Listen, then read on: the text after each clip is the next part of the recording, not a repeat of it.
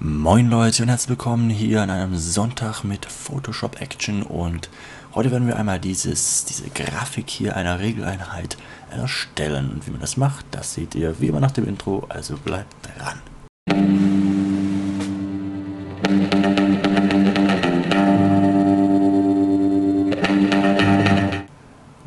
Herzlich willkommen wieder hier zurück. Ich erstelle mir mal eine neue Datei, einfach Datei neu. In diesem Fall 1000 mal 1016 Bit. Okay, mit 300 äh, Pixel Auflösung, genau. Dann will ich das Ganze natürlich einfärben. Ihr könnt eine Farbe eurer Wahl nehmen. Ich mache das in A5B79F. Das ist einfach so ein leicht grün, olivgrün, so in der Art. Gut, dann färbe ich das mir ein und kann das auch gleich sperren, indem ich eine neue Ebene auch noch drüber setze. Und da werden wir jetzt mit einem abgerundeten Rechteck einfach einmal unsere Schiene zeichnen, die wir später dann brauchen. Abgerundetes Rechteckwerkzeug und ich erstelle mir da einfach mal irgendwas. Ihr seht es hier so, denn ich kann das hier oben in der Breite und der Höhe in genauen Pixelwerten bestimmen. Breite 10 Pixel und die Höhe bitte 600 nur. Das reicht uns heute. Okay, so sieht das Ganze aus. Wenn ich da jetzt so drauf gehe, seht ihr natürlich nichts, weil es natürlich dieselbe Hintergrundfarbe hat. Die Fläche soll auch so sein, dieselbe Hintergrundfarbe und wir brauchen keine Kontur. Jetzt gehen wir auf das Ebenenstilfenster, da machen wir einen Doppelklick hier drauf, so, und können da jetzt Einstellungen vornehmen. Einmal brauchen wir einen Schatten nach innen, den findet ihr hier bitte reinklicken und schon sehen wir das Ganze. Ich zoome mich da ein bisschen näher, dann könnt ihr verfolgen, na, wie sich das so verändert. Und bei dem Schatten nach innen ist ganz wichtig, dass wir da einmal auf Normal gehen. Deckkraft 75% bei Schwarz und ähm, hier nehmen wir einfach mal 90 Grad. Okay, bitte globales Licht anklicken, weil dann müsst ihr das später nirgends mehr verändern. Das ist dann immer gleich. Und hier bitte 3, 0 und 4 Pixel brauchen wir dann nur. Okay, dann ist hier einfach hier oben Schatten und seitlich ein bisschen noch so angedeutet. Einen Schlagschatten hätte ich auch noch gerne, okay. Der soll aber relativ klein sein, wieder normal. Und ja, 90%, ihr seht, mit dem globalen Licht haben wir uns das alles so angeglichen. Wir brauchen da aber nur 1, 0, 1. Also der soll sehr klein sein und nur das ein bisschen verdeutlichen. Hier 0% wieder rein und schon passt das. Jetzt äh, will ich hier noch so einen leuchtenden Streifen haben, quasi, dass man sieht, wo man jetzt mit seinem kleinen Regelschieber ist. Und damit duplizieren wir uns das hier einfach. STRG und J. Okay, ihr könnt es auch mit Alt verschieben und dann wieder dorthin schieben, aber STRG J geht ganz leicht. Und jetzt wählen wir hier mit diesem Rechteck-Auswahlwerkzeug äh, hier einfach den oberen Teil, sagen wir mal, drei Viertel davon wird gelöscht. Oder machen wir so. Ja, das haben wir uns jetzt ausgewählt. Und dann können wir das mit dem Pinsel einfach löschen. Pinsel, ähm, löschen, der Kraft 100%, okay. Zip. Und schon ist es weg. Auswahl, Auswahl, aufheben und ihr seht, das geht jetzt nur bis dorthin. Dann gehen wir da wieder aufs Ebenenstilfenster, machen einen Doppelklick drauf und ähm, wir können das beides mal wegklicksen. Denn wir brauchen jetzt einen Schein nach außen. Den finden wir hier unten, Seite von unten, Schein nach außen. Und der soll normal, heute machen wir alles normal, 56 sagen wir mal circa. So. Und die Farbe hierbei wäre bei mir einfach ein bisschen leicht gräuliches Weiß, wäre F4, F4, F4. Und das Ganze machen wir weiter mit diesen Werten. Ich habe hier jetzt noch einmal einfach das so eingestellt. Ähm, ich will bei der Überfüllung bitte 15% haben ähm, die Größe 9 Pixel und hier 50 zu 0. Okay, das passt eigentlich auch schon wieder. Die äh, Farbüberlagerung soll in diesem Fall genau das gleiche F4, F4, F4 sein. F4, F4, F4. Okay, dann leuchtet das hier so schön. Und was wir jetzt noch machen müssen, wir schließen das einmal, machen OK und gehen einmal auf Filter, Weichzeichnungsfilter und Gauscher Weichzeichner und machen das einfach mit 0,5 ein bisschen weicher. Dann sind hier die Konturen nicht ganz so hart. Wir brauchen natürlich auch noch so einen Regelschieber, den kleinen Knopf, den erstellen wir uns jetzt auch, indem wir wieder einmal das abgerundete Rechteckwerkzeug nehmen und uns das einfach mal hier so aufziehen. Das ist natürlich jetzt viel zu groß, deshalb gehen wir wieder hier oben in die Werte rein und machen einfach 36 Pixel mal 23 reicht. Okay. Ich schiebe mir das STGT einfach hier einmal so mittig hin. So. Okay, passt. Und wenn ihr das jetzt so habt, natürlich auch in der ähm, Farbe ein bisschen verändert. Wir gehen hier in Fläche und Weiß einfach dazu mit einem schwarzen Pfeil auswählen, dann könnt ihr die Farbe ganz leicht ändern.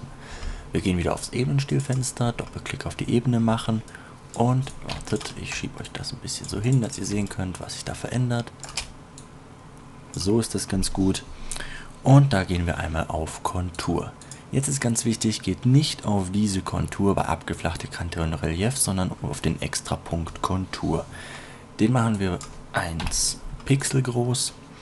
Ähm, nach innen bitte, weil die Größe soll es nicht unbedingt vergrößert werden. Normal und gerade mal die Deckkraft auf 16%, dass das so wie so ein Schatten angedeutet wird. Einen Schatten nach innen braucht das ganze Stückchen hier auch noch. Schatten nach innen und der soll einmal wieder normal sein und mit 75% Deckkraft. Allerdings brauchen wir den hier weiß.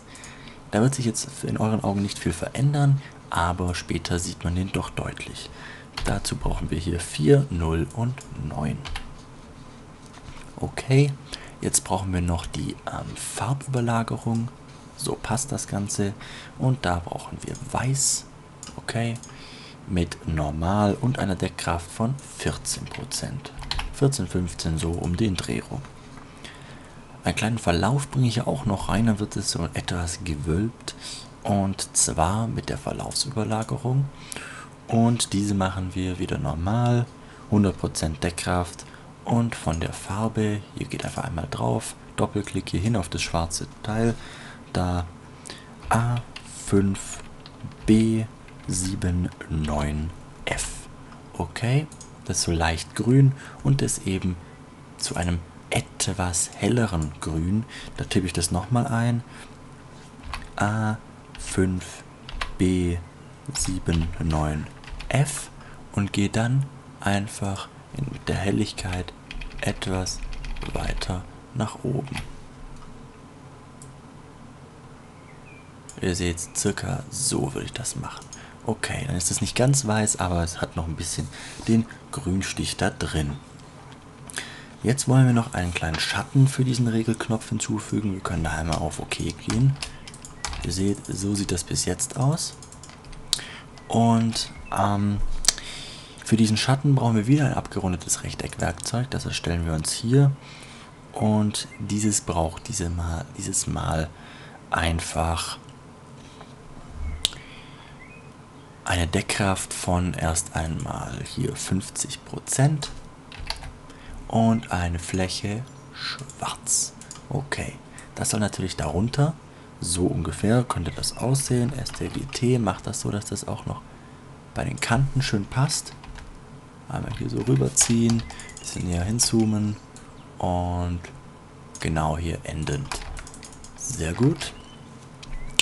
Jetzt müssen wir das Ganze nur noch weich zeichnen. Dafür gehen wir auf Filter, Weichzeichnungsfilter und Bewegungsunschärfe. Ist gleich das erste hier oben. Okay, ich will das so machen. Und dafür brauchen wir jetzt einfach minus 90% und 90 Grad und 7 Pixel.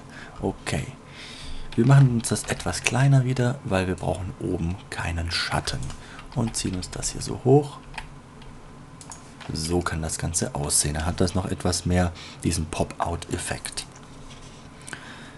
Jetzt kommen noch diese kleinen Striche, die Narben auf diesem Cursor hier drauf. Dazu machen wir einmal hier ein ganz Zoom hier herein und wir nehmen das Rechteckwerkzeug, nicht das abgerundete Rechteckwerkzeug, sondern das Rechteckwerkzeug. Da ziehe ich mir einfach mal was auf. Das soll 28 Pixel mal 1 Pixel in der Höhe sein. Okay, das wäre das hier. Ihr seht's. Und das schiebe ich mir noch mittig, ungefähr hierher. Da müssen wir jetzt wieder das Ebenenstilfenster aktivieren und gehen hier einfach einmal auf Kontur. Okay, die ist natürlich viel zu groß. Wir brauchen das nur für einen Pixel. 1. Und natürlich außen normal mit einer Deckkraft von 50%. Wiederum nur angedeutet, dass das Ganze auch passt. Allerdings mit weiß. Okay. Ein kleiner Schatten nach innen ist auch nicht schlecht. Und da gehen wir einfach auf. Hier, Schatten nach innen. Multiplizieren. Und diesmal schwarz als Farbe auswählen. Okay. Mit einer Deckkraft von, sagen wir mal, circa 30%. Okay. Passt das Ganze schon einmal. Ihr seht, so wird dann unser Strich hier angezeigt. Wir duplizieren uns das einfach einmal mit Alt und ziehen uns das hier so runter. Ein bisschen anpassen von den Abständen, dass das auch passt. So kann das aussehen. Sehr schön. So wollte ich das genau. Und jetzt schreibe ich einfach noch ein paar Werte hin. Dafür gehe ich hier in den Textwerkzeug, äh, ziehe mir hier einen kleinen Rahmen auf und kann nun einfach 10 Dezibel oder sowas reintippen. Ihr seht, ihr müsst das auch entweder in weiß oder schwarz nehmen. Macht es mal in schwarz oder so ein dunkles Grau, sage ich mal. Okay, da kann man noch ein Plus davor hauen. Plus. Und ich ziehe mir das hier so her. Alt, genau gleich darunter, nur mit einem Minus davor.